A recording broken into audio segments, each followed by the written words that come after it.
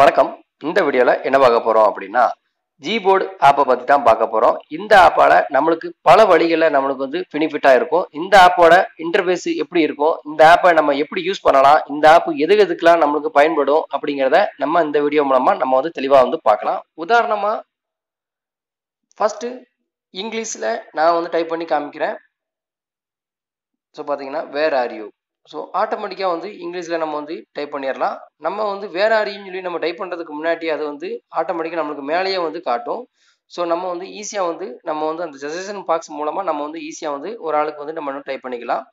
இப்போ தமிழில் டைப் பண்ணணும் அப்படின்னா கீழே பார்த்தீங்கன்னா இந்த இங்கிலீஷ் பக்கத்தில் ஒரு சிம்பிள் ஒன்று கொடுத்துருக்குறாங்க. ஸோ இந்த சிம்பிளுக்கு டச் பண்ணிவிட்டு உங்களுக்கு வந்துட்டு லாங்குவேஜ் வந்து உங்களுக்கு சேஞ்ச் பண்ணிக்கலாம். எப்படி வந்து தமிழ் அண்ட் இங்கிலீஷை ஒரே கீபேர்டில் நம்ம வந்து செட் பண்ணுறது அப்படிங்கிறத நம்ம வந்து பார்க்கலாம். இதில் பார்த்தீங்கன்னா செட்டிங்ஸ் சிம்பிள் ஒன்று கொடுத்துருக்காங்க ஸோ அந்த சிம்பிளை வந்து நீங்கள் வந்து டச் பண்ணுங்கள் லாங்குவேஜஸ்ன்னு சொல்லி கொடுத்துருக்குறாங்க. ஸோ இதில் நான் வந்து இங்கிலீஷ் அண்ட் தமிழ்னு சொல்லி ரெண்டு லாங்குவேஜ் வந்து செட் பண்ணியிருக்கிறேன். உங்களுக்கு என்ன லாங்குவேஜ் தேவையோ அந்த லாங்குவேஜை நீங்கள் வந்து செட் பண்ணிக்கோங்க. உதாரணமாக எப்படி லாங்குவேஜ் செட் பண்ணணும் அப்படின்னு பார்த்தீங்கன்னா ஆட் கீபோர்டுன்னு சொல்லி ஒரு ஆப்ஷன் கொடுத்துருக்காங்க. ஸோ அந்த ஆப்ஷனை டச் பண்ணிவிட்டு தமிழ் வேணும் அப்படின்னா தமிழ்னு சொல்லிட்டு டைப் பண்ணுங்க. உங்களுக்கு வந்துட்டு தமிழ் வந்து உங்களுக்கு வந்து கொடுப்பாங்க. ஸோ பார்த்தீங்கன்னா தமிழ் சர்ச் பண்ணுறேன் தமிழ் இந்தியா தமிழ் சிங்கப்பூர் தமிழ் ஸ்ரீலங்கா எனக்கு வந்து இந்தியா வேணும். ஸோ அதனால் நான் இந்தியா வந்து செலக்ட் பண்ணிட்டு இருக்கேன். எனக்கு ஆல்ரெடி நான் வந்து இந்த தமிழ் செலக்ட் பண்ணிருக்கேன் அப்படிங்கிறனால உங்களுக்கு தேவையான லாங்குவேஜை நீங்கள் வந்து செலக்ட் பண்ணிக்கோங்க. நான் வந்து தமிழ் இங்கிலீஷ் இந்த ரெண்டு தான் வந்து எனக்கு தெரியும். ஸோ அதனால் இந்த ரெண்டு லாங்குவேஜை நான் செலக்ட் பண்ணியிருக்கிறேன் மேலும் வந்து வாய்ஸ் டைப்பிங்கு அதாவது நீங்கள் ஒரு வார்த்தை பேசுகிறீங்க அப்படின்னா ஆட்டோமேட்டிக்காக வந்து டைப் ஆகிற மாதிரி இந்த ஆப்பில் வந்துட்டு ஸ்பெசிஃபிக்காக கொடுத்துருக்குறாங்க. நீங்கள் வாய்ஸ் டைப்பிங்கில் உங்களுக்கு என்ன லாங்குவேஜ் வேணுமோ அந்த லாங்குவேஜை கொடுத்துக்கோங்க. நான் வாய்ஸ் டைப்பிங்கில் தமிழ் இந்தியா கொடுத்துருக்குறேன். நீங்கள் உங்களுக்கு வந்துட்டு இங்கிலீஷில் வேணும் அப்படின்னா நீங்கள் வந்து இங்கிலீஷ்லேயும் கொடுத்துக்கலாம். தமிழில் வேணும்னா தமிழ்லையும் கொடுத்துக்கலாம். தமிழ் வந்து கீழடியில் இருக்குது. நான் வந்து தமிழ் அண்ட் இங்கிலீஷ் கொடுத்துருக்குறேன். சேவ் கொடுத்துருக்குறேன். இதில் பார்த்தீங்கன்னா தெரியும். வாய்ஸில் language English and Tamil. So இப்படி ரெண்டையும் கொடுக்கறனால என்ன நான் என்ன பெனிஃபிட் அப்படின்னு பார்த்தீங்க அப்படின்னா உதாரணமாக நான் வந்து தமிழில் இப்போ வந்து டைப் பண்ணுறேன் இப்போ பார்த்தீங்கன்னா லாங்குவேஜஸ் மாற்றிட்டு இந்த சைடில் பார்த்தீங்கன்னா இந்த வாய்ஸ் சிம்பிள் கொடுத்துருக்குறாங்க. இந்த வாய்ஸ் சிம்பிளை டச் பண்ணுறேன் டச் பண்ணிவிட்டு தமிழில் பேசுகிறேன் ஆட்டோமேட்டிக்காக உங்களுக்கு வந்து டைப் ஆகும் பாருங்கள் நான் நல்லா இருக்கிறேன்.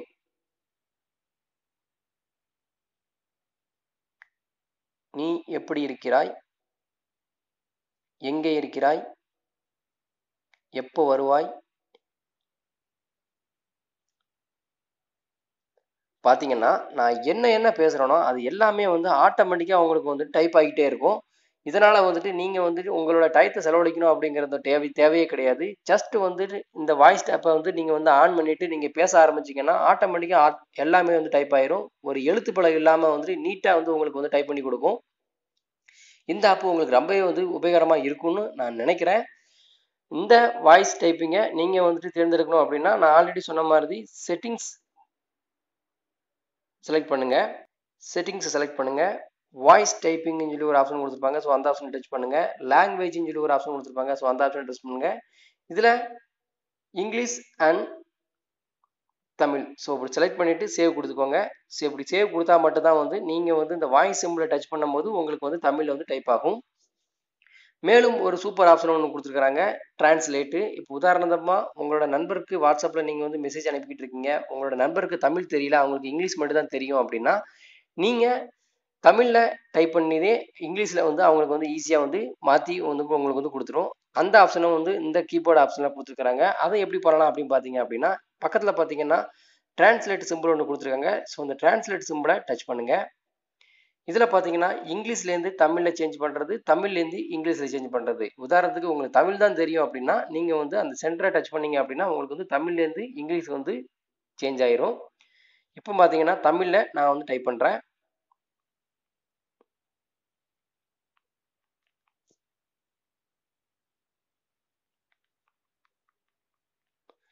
நீங்கள் எப்படி இருக்கீங்க அப்படிங்கிறது நான் வந்து தமிழில் டைப் பண்ணியிருக்கேன். அதுவாக வந்து நம்மளுக்கு வந்து இங்கிலீஷில் வந்து உங்களுக்கு வந்து டிரான்ஸ்லேட் ஆகி வந்து உங்களுக்கு கொடுக்குறது. ஸோ இப்படி தான் வந்து தமிழில் டைப் பண்ணுறத இங்கிலீஷில் டிரான்ஸ்லேட் ஆகி உங்களுக்கு வந்து கொடுக்கும். இந்த ஆப்ஷனை வந்து இந்த ஜிபோர்டு ஆப்பில் வந்து அவங்க வந்து கொடுத்துருக்குறாங்க. ஸோ வந்து உங்களுக்கு எல்லா வழியிலையுமே பார்த்தீங்கன்னா இந்த ஜிபோர்டு ஆப்பு உங்களுக்கு வந்து ரொம்பவே வந்து பெனிஃபிட்டாக இருக்கும். மேலும் என்ன கொடுத்துருக்காங்க அப்படின்னு பார்த்தீங்கன்னா நீங்கள் வேறுன்னு சொல்லி டைப் பண்ணுறதுக்கு நீங்கள் வந்து டபிள்யூ இஆர்இ ஸோ இந்த மாதிரி டைப் பண்ண வேண்டாம். ஜஸ்ட் வந்துட்டு டபிள்யூவில் கை வச்சுட்டு இப்படி நீங்கள் இப்படி பண்ணாலே போதும். உங்களுக்கு வந்துட்டு ஈஸியாக வந்து உங்களுக்கு வந்து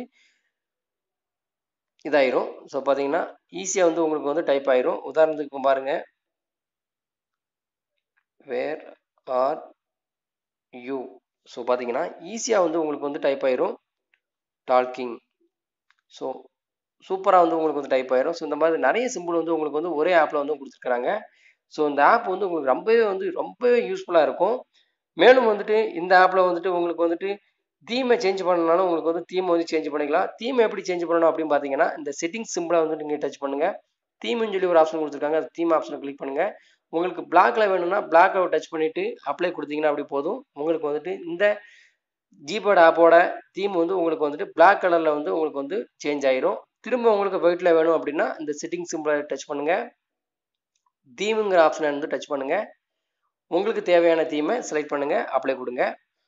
நீங்கள் இந்த ஜிபோர்ட் ஆப்பில் மேக்ஸிமம் பண்ண வேண்டியது என்னன்னு பார்த்தீங்கன்னா செட்டிங் ஆப்ஷனை கிளிக் பண்ணுங்கள் லாங்குவேஜுங்கிற ஆப்ஷனை கிளிக் பண்ணுங்கள் தமிழ் அண்ட் இங்கிலீஷ். ஸோ இந்த ரெண்டு லாங்குவேஜுமே வந்து நீங்கள் வந்து செலக்ட் பண்ணி வச்சுக்கோங்க.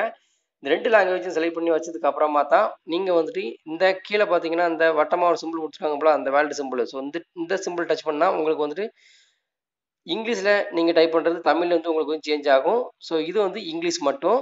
இது வந்து தமிழ் அண்ட் இங்கிலீஷு ஸோ இந்த ரெண்டு சிம்பிளும் நீங்கள் வந்து ஈஸியாக வந்து மேனேஜ் பண்ணிக்கலாம். ஸோ இந்த ஆப் உங்களுக்கு ரொம்ப உபயோகமாக இருக்கும்னு நான் நினைக்கிறேன். இந்த வீடியோ பிடிச்சிருந்தா லைக் பண்ணுங்கள் ஷேர் பண்ணுங்கள் மேலும் எதுவும் டவுட் இருக்குன்னா கமெண்ட் பாக்ஸில் தெரிவிங்க. இதே மாதிரி வேற ஒரு வீடியோவில் சந்திக்கலாம். நன்றி வணக்கம்.